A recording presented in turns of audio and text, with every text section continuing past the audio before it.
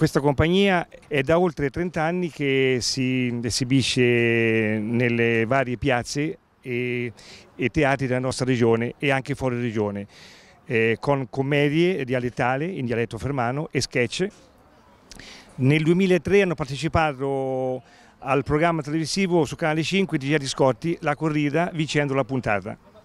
Adesso venerdì eh, 26 agosto alle ore 21.30 saremo qui a Fano in questo splendido teatro arena eh, BCC con una commedia dialettale di un unico atto dal titolo Male una e peggio l'altra. In italiano Male una e peggio quell'altra. È una commedia che ha avuto un grandissimo successo anche dalle altre parti e io mi auguro che la gente partecipa e siamo contenti di essere qui perché è un posto bellissimo questo.